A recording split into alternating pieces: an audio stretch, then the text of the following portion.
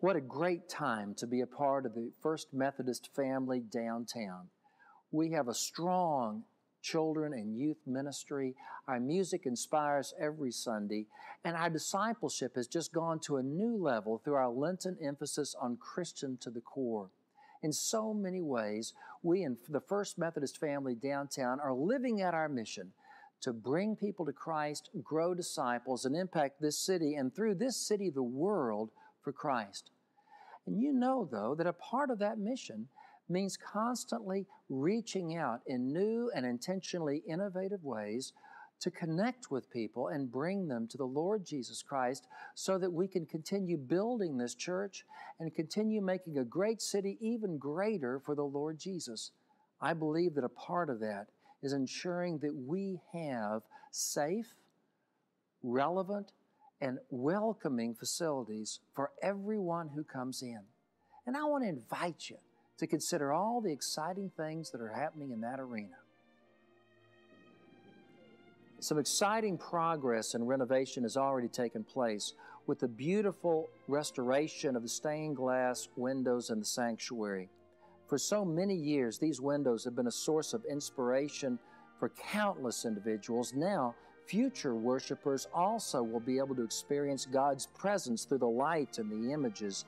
In addition, outside, we're starting some very exciting things. From Clay Street, a new, much wider, and gentler ramp will be developed and will allow easy entrance for those with wheelchairs or walkers or moms pushing baby strollers.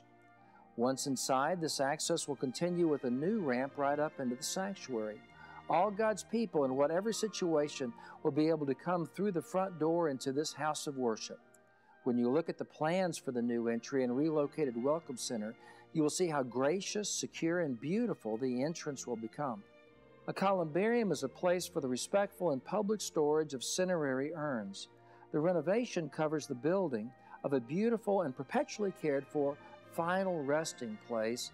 The new columbarium and prayer garden will be a place for prayer and honoring those members of the first family who have loved us and gone on before in the love of Christ. That's phase one. Phase two in this process will include renovations that basically redesign and reimagine the first floor as you come into the house of God here at Main and Clay. First, we'll be moving our Welcome Center, bookstore, and chapel. We'll need to do this to allow ramped access through the main door of the sanctuary for all God's people. We'll keep the reverent and classy look and feel of the chapel, but move it to a more visible and suitable location in a larger area with outside light. It will be beautiful. A new welcome center will be in a more central location and more easily accessible to everyone who comes into the church. A new commons area will be a great place for fellowship. The bookstore, such a big draw to our church on Sundays and throughout the week, will be in a more visible spot and immediately apparent to everyone coming into the church during the week. And finally, to reach more young families with the good news of Jesus Christ, we must update our children's ministry spaces. Many churches have invested in their spaces for young families, and it's important for us to send a message that downtown is a great place to bring your kids. What follows a virtual tour of this new space, I think you're going to be excited by it.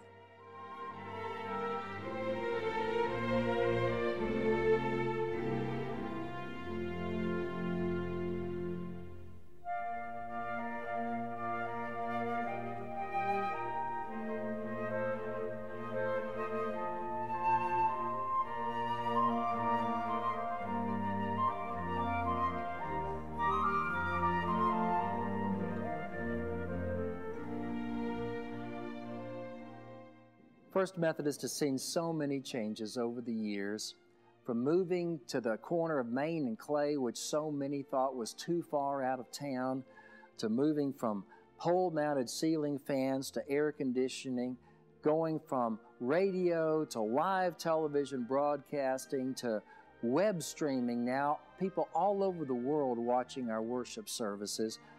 This church has been willing to do whatever it takes to reach a broken and hurting and sinful world with the good news of the Lord Jesus Christ. I believe Houston needs the unique witness of First Methodist downtown.